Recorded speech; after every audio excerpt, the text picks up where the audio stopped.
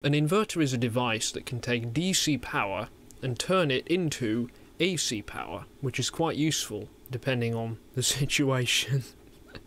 Man, I can't be bothered to do a good intro today. Let me just say that for the next 10 minutes I'm going to be talking about inverters, okay? That's what this video is. So before we get started, why don't we remind ourselves what the difference is between DC and AC in the first place. DC stands for direct current, and it means that the electric current flows through some kind of load in one constant direction, from positive to negative. This is what happens if you connect something to a battery, for instance. AC stands for alternating current, which means that the electric current goes back and forth repeatedly. It's it alternates, right? And this is the kind of power that you get from a power outlet. So here in Europe, from a standard power outlet, the electric current goes back and forth 50 times per second, 50 hertz. If you live in, in America, it'll be 60 times a second, 60 hertz. So how does an inverter take DC power on the input and convert that into AC on its output? It uses a circuit that we call an H-bridge.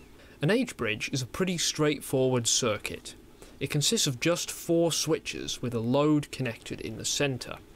The DC power source is connected to the top and bottom of the H-bridge circuit.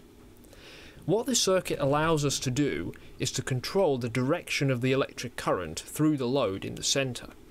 So if I set the switches like this, for instance, the current flows through the load from left to right. If I set the switches like this, on the other hand, the current will flow through the load from right to left, in the opposite direction. And so if we switch between those two states repeatedly, we've created AC power, right? We just have to do that you know, back and forth 50 times a second. It's as simple as that, really. Now, normal mechanical switches won't be fast enough to switch 100 times a second. So instead of using mechanical switches, the H-bridge uses transistors. So in my drawing, I've drawn them as mechanical switches because that's easy to understand, but know that in reality, these are actually transistors, right? Semiconductor devices. They don't have to be transistors, they can be other types of solid state electronics as well. But they operate as if they are switches, they're just really fast. That's basically all there is to it.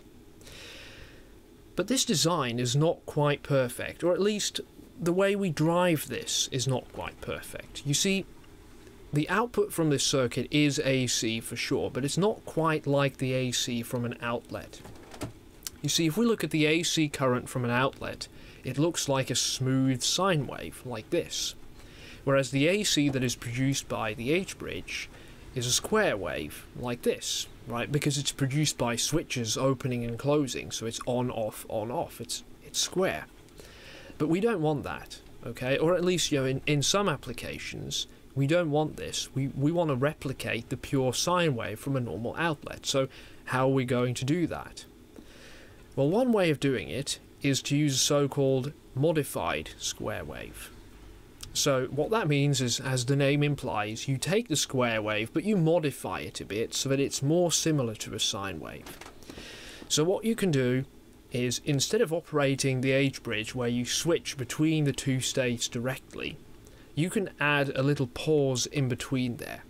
So you can add a little pause where all the switches are open and no current flows. So instead of switching directly from state 1 into state 2, you switch from state 1 into the pause state where there is no current and then into switch 2 and that gives you a waveform that looks like this. That's the modified square wave. You can see those pauses in there where there is no current. So that is still really ugly and still really square, but it's less square than the actual square wave. And so it's a bit more like a real sine wave. And this is the approach that is used by cheap inverters. So if you go into a hardware store and you buy like some inverter that produces a good amount of power for a low amount of money, that's probably the technique that it uses. And you can read that on the box because it'll say modified square wave or modified sine wave. I'm not quite sure what it'll say, but if the word modified is in there, This is the waveform it produces. So the next question is, how do we produce an inverter that actually generates a real smooth sine wave?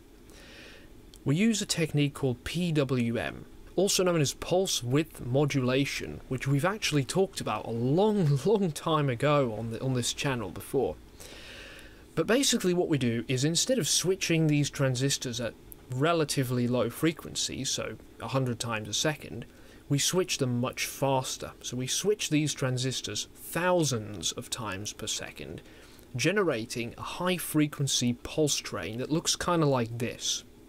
So you can see that overall we are producing the general shape of a square wave, but you can see that this particular square wave consists of smaller, you know, shorter pulses. And what's important about this is that you can see that these pulses don't all have the same length. Some of them are a bit wider and some of them are a bit shorter. This is important because the width of these pulses affects the average voltage of the signal. The peak voltage is the same all the time because all these pulses have the same height so that there is only one peak voltage but the average voltage changes because when these pulses get wider on average the voltage is higher because there is more time the voltage spends being high because the pulse lasts longer right? Whereas if the pulses get shorter and narrower on average the voltage is lower. So if we plot out that average voltage as a new line in the graph, it looks like this. So you can see that the average voltage resembles a sine wave shape. But of course, that's just an average. In reality, it's not a sine wave yet. So the sure the average resembles a sine wave, but it's still just a train of pulses like this. So what we do have to do is feed that into a filter to filter out the high frequency components and after that filter then we have a pure sine wave. And that filter is a remarkably simple device because it can consist of just one inductor, which is a coil of wire, and one capacitor. So it's a very simple passive device. We feed it through and boom, there's our pure sine wave. Uh, so that's how you generate a pure sine wave, still using a normal H-bridge. So all inverters basically use an H-bridge circuit. The difference is, how do you drive that circuit? Do you drive that circuit in a pretty dumb way and generate a square wave or a modified square wave?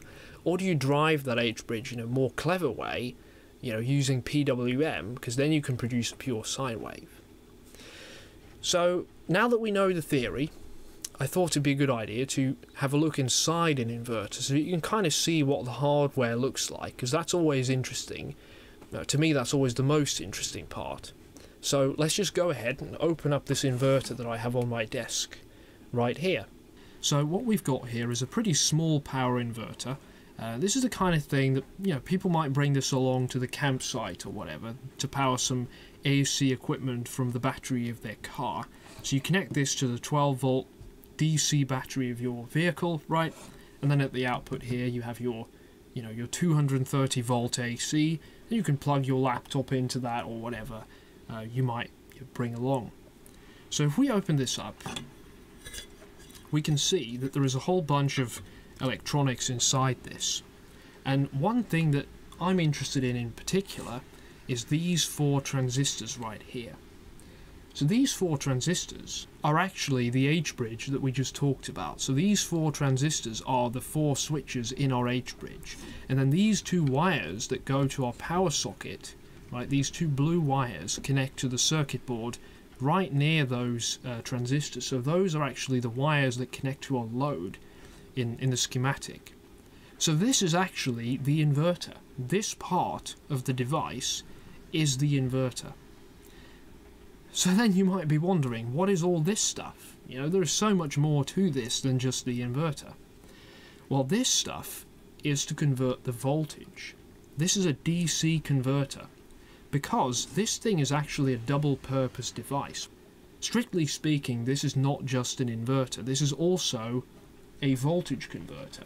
This is not just turning DC into AC, it's not just an inverter, it also turns 12 volts into 230 volts. So it's also a voltage conversion device, and all of this is a massive DC converter that takes 12 volts and ramps it up to some high voltage DC, and then the inverter turns that into AC power at the output. So you can see the majority of space inside this thing is actually taken up by that DC converter, by the circuit that is used to increase the voltage.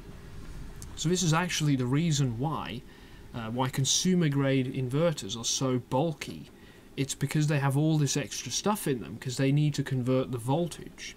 If you had an inverter that worked on, you know, let's say 300 volt DC instead of 12 volts DC, then you didn't need all this stuff and the inverter could be an absolutely tiny little box because it only needs to contain a bunch of transistors and that's it.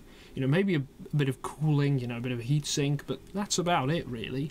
Uh, so that's the majority of, of stuff that is inside one of these one of these inverters is actually a DC converter to change the voltage. We might talk about DC converters a bit more in a, in a future video. So there you go, that is how an inverter works, that's kind of what it looks like on the inside.